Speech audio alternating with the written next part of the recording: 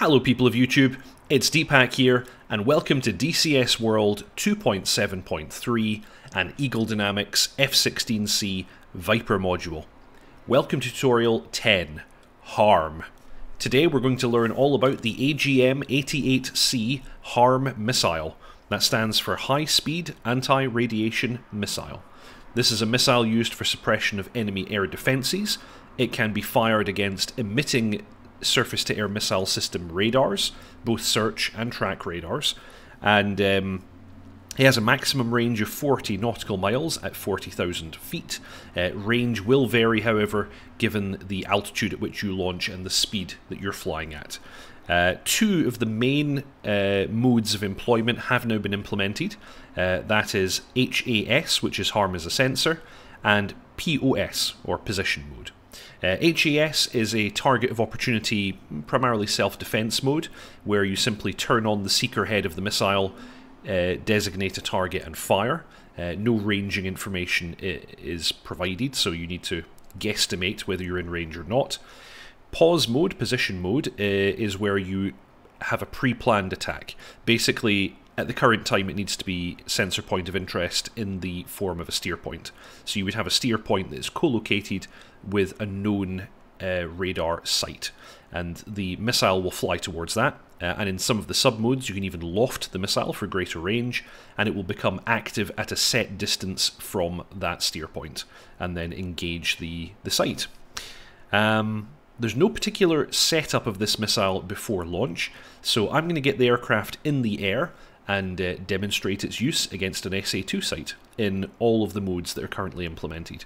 Uh, one major mode that is not implemented today is the HAD, or the Harm Attack Display, because this requires the HTS, which is the Harm Targeting System Pod, uh, and that's not implemented in the sim yet. And that's actually quite a unique way of employing the harm. That's something that only the F-16 is capable of doing, making it a very effective SEAD or Wild Weasel platform. Today you can see that I have four harm missiles loaded on the jet. That is the maximum number you can carry. They can be carried on pylons 7, 6, 4 or 3. Uh, so that makes it quite a quite a nice suppression of enemy air defences loadout there. Okay, I'll get the aircraft in the air and I'll see you on the way to the target. Okay, you join me again in the cockpit of the F-16. We're currently 29 nautical miles inbound waypoint 1, steer point 1 in fact. and uh, I'm going to go over some useful information before we actually begin setting up the missile and making our attack. If we center down on the HSD right now, uh, you can see that um, SAM sites that we have information for before missions start are loaded into the DTC and appear on our HSD. Uh, you can't really see it here because the waypoint is co-located, but there is in fact a number 2 here, uh, and the yellow threat circle denoting an SA2 site at this location. Um, this is not live information, however.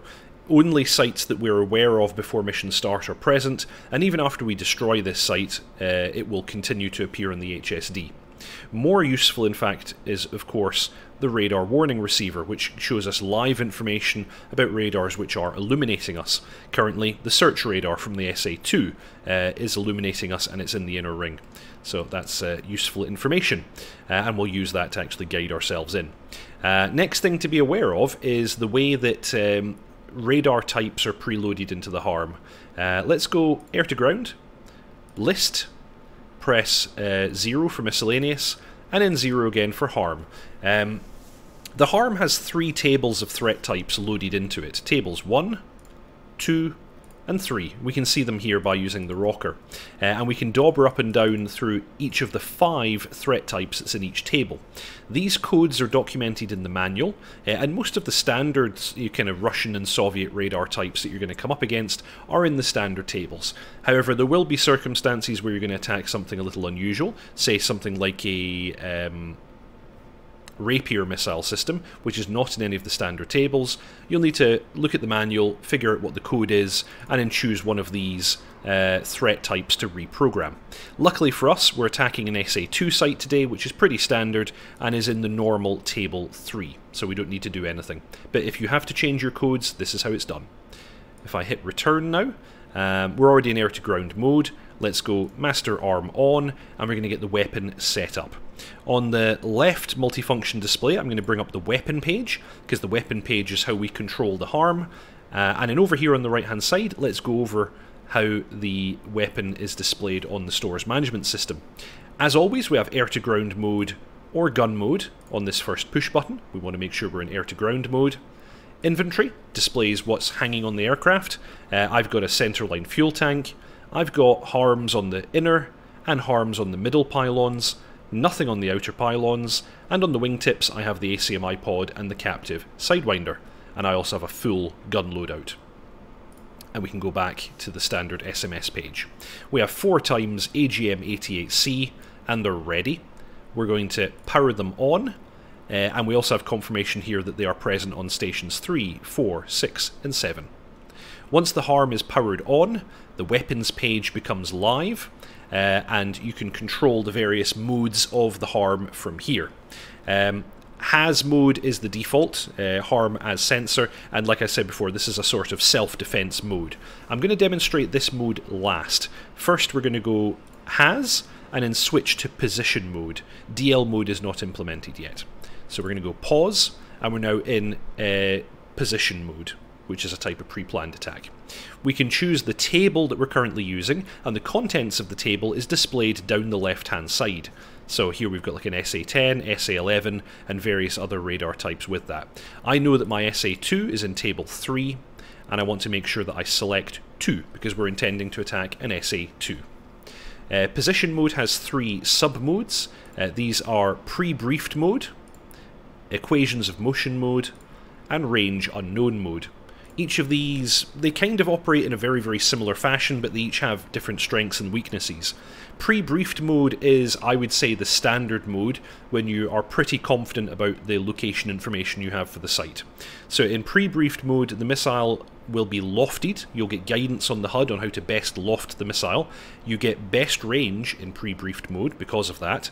Uh, you have to be flying directly towards the site, and at 15 nautical miles from the steer point, the seeker on the harm will go active and it will make a 120 degree search for the, the uh, SAM type that you've selected, in this case SA2. On the main part of the screen here, uh, we have the launch status divider line, this green line. Everything below the line is the plan, and everything above the line is missiles in flight and their progress.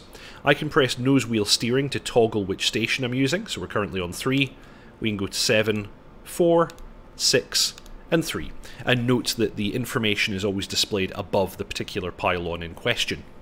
So that's pre-briefed mode. If I switch to equations of motion, equations of motion is very similar, however the seeker will only activate at 5 nautical miles and in a 40 degree tight search, and so of course your steer point has to be much more accurately positioned.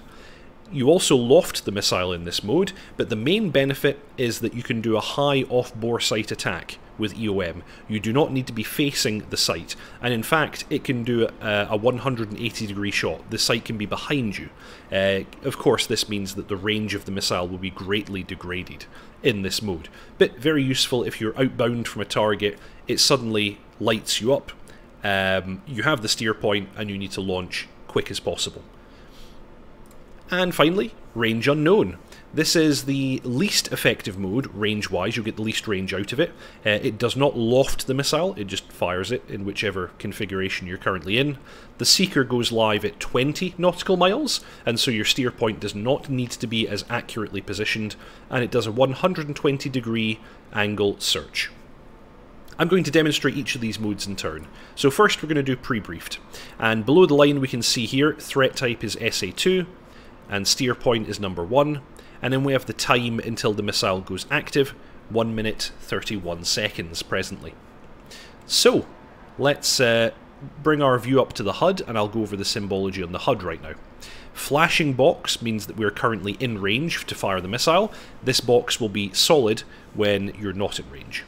Uh, we've got a range scale down the right hand side. This is the range to the steer point, but of course in most cases your steer point should be uh, accurately positioned, so that this is pretty much correct. We can see just now that uh, we're about 31 miles, in fact that's confirmed here. Uh, heading 90, 31 miles to the target. Uh, this is the angle at which we're intending to loft the missile, the best angle. So angle 26 degrees, and then we have confirmation of the altitude that the launch will happen at approximately. So that's 30,700 feet is the altitude we intend to be at at the time we let go of the missile. In the middle here, we have the azimuth steering line in order so we can orient ourselves as best as possible with the steer point. We have the minimum lofting angle, we have the best lofting angle here, and we have the maximum lofting angle. These are compressed, by the way. Uh, so you know the, this uh, best lofting angle is at 26 degrees. So as we pull up, you'll see that these marks don't move very fast, and we want to line them up with a flight path marker before launch. Okay, so let's uh, let's get ready to go. Gonna disengage active pause. I'm gonna go afterburner. I'm gonna fly towards the target. And as we're in range, I'm to start pulling up. want to do it gently so we don't lose too much speed. That's about right. Magnum. And I'm going to bring the nose back down again. And I'm going to continue... Oh, I went a little bit too much there. Uh, I'm going to continue my flight inbound because I want the radar to go active so the harm then has something to seek against. Note that these missiles are very big and very heavy, and so you're going to be quite... Oh, there we go. We're locked up by the SA-2 now. That's good. I'm going to have to use quite a bit of trim right to counteract the, the missing weight there. Uh, I'm going to go slightly off, um, but not completely off target, because I do want that SA2 to continue to track me, so the harm has something to seek against. And let me pause for one moment so I can show you what the weapons page looks like now. You'll notice for Pylon 3 the information is now above the line. This is the missile in flight, 44 seconds until active, travelling towards steer point 1, and it's going to look for SA2 radars. So we need to make sure that tracking radar stays on. Let's unpause. Problem is, of course, we may well get fired upon in that time, but uh, if we knock out the tracking radar, the missile will be defeated, effectively. Uh, 24 miles out. I'm actually I'm going to level out about here, because I feel fairly safe doing that.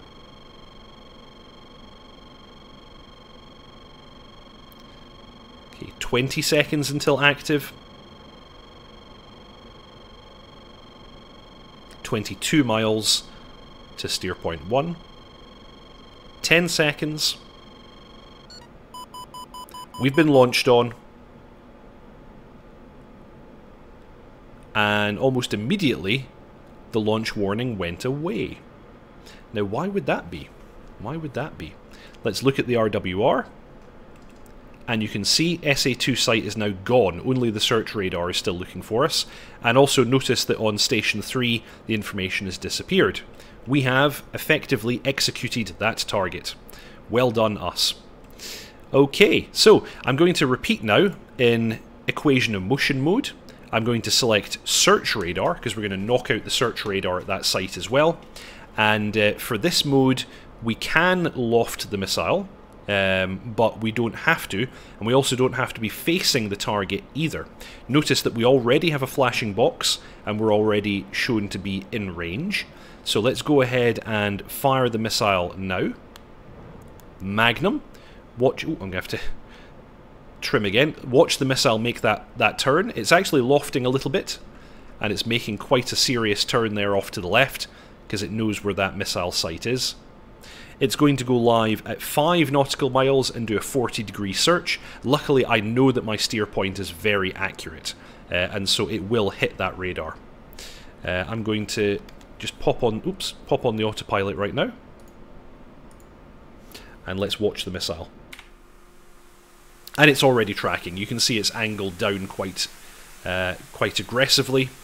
And we're probably going to get a top hit on that search radar. That's looking pretty good.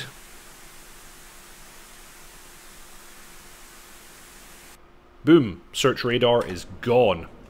Okay, uh, I'm going to reset and then I will demonstrate range unknown modes and harm as a sensor mode. Okay, so we're back in the jet. I've respawned that SA2 site, uh, and once again we're in position mode, table 3, SA2 selected, and now we're in range unknown mode. Now in range unknown mode we don't get the countdowns uh, and, and kind of estimates of when we go active and so on. Uh, all we get is uh, the fact we're looking for an SA2 site at steer point 1. Now that missile is going to go active at 20 nautical miles and uh, it's going to do a 120 degree search. We're also not lofting, so if we look back up at the HUD here, we have a steering line but no loft lines. Uh, we don't have any information about the angle and altitude at launch. We do have a standard uh, launch um, launch range indication here, maximum minimum ranges. We are currently in range and the box is flashing. So let's uh, come out of active pause. Magnum, and I'm going to turn off angle just a little bit to give us a bit more time to react before that site shoots us down. so I'm going to just do a kind of 45 degrees off angle there to give us some more time. Currently 29 miles away from the SA2 site at 30,000 feet.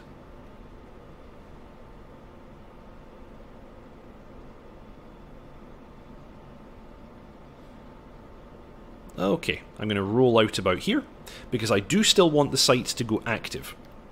And actually, if I take a little look at my HSD... Yeah, in fact, I'm going to want to turn back in for a bit, because I want to make sure I get inside its uh, threat range before the missile starts seeking. There we go. That's what I wanted. That's what I wanted. Just going to check on the missile in the F6 view. Missile is inbound. It looks like it's seeking. Yep, it is. It's, it's making a turn and it's descending. So I think there's a good chance that it has seen the emitter. Uh, I think at this off angle we shouldn't be at too much risk ourselves of being shot down, but I think there's a good chance we're going to destroy that radar. We've just been launched on, and in fact there you go. You can see a missile streaking in the air towards us. But uh, I don't know, guys. I think uh, I think we're going to get him first.